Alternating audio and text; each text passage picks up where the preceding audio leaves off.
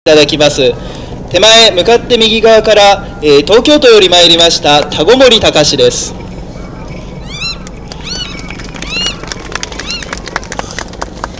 千葉県より大塚高城です。東京都より稲田高城です。千葉県より榊原高城補です。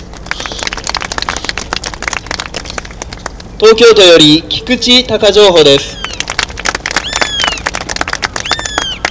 静岡県より龍高情報です。山梨県より篠田高情報です。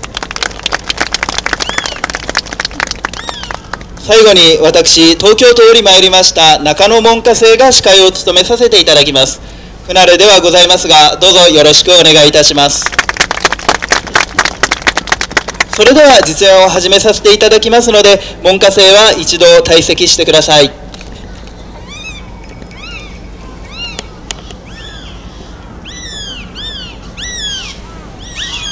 ただいまご覧いただいております私ども高城の装束でございますがこちらは、えー、先代の花見薫先生に敬意を表しまして宮内庁宝飾時代に採用されました高城衣装を使用させていただいております。江戸時代の鷹匠との違いは直旅と鳥打ち棒ハンチング棒でございまして明治時代に西洋の文化を取り入れた影響が伝えられております。江戸時代鷹匠は挨拶の時殿様の前でも帽子を脱がないことが許されておりました。これは驚かさないための配慮でありそのことを殿様もご理解いただいておりましたために、えー、そのような振る舞いが許されておりました。しかしこれが鷹匠は威張っているという誤解を招く原因の一つになったと言われております。また訓練中鷹匠は鷹を据えて夜中に歩き回ることがあり、えー、この際人を避けようとするために、え挙動不審に見えることがあるようでございます。えー、従いましてこの後皆さん鷹匠が偉そうに見えたり挙動不審に見えたりしましても、えー、そちらの仕草一つ一つに、え理由があるものだということをどうかご理解いただけましたら幸いでございます。またあの本日、えー、実演に使用いたします鷹のご紹介をさせていただきます。こちらヨーロッパから輸入いたしました。失礼いたしました。輸入された大鷹と桃赤のすりまたはハリスホークと呼ばれる鷹になります。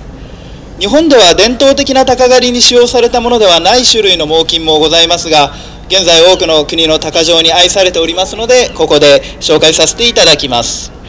若い鷹と成長した鷹あるいは異なる種類の猛禽類の動きの違いを見ていただき幸いでございます。それでは準備ができたようでございますので振り替えという技をお見せいたします。披露しますのは田子森隆と高木原失礼いたしました。稲田高城大高でございます。これは高城と高城が向かい合って立ちお互いの拳に鷹を呼ぶという訓練です。一見すると単純な技に見えますが非常に大切な訓練の一つとされております。大高は末前と呼ばれる調教の担当者に一番慣れやすく他人の顔を見分けることができます。この傾向が強くなりますと人見知りのようになり他人に据えられるのを嫌がるようになってしまうことがあります。そうなると初めてお会いする殿様に据えていただき狩りをするということができなくなってしまいますので他人の拳でも安全だということを教えるためこのような訓練を行います。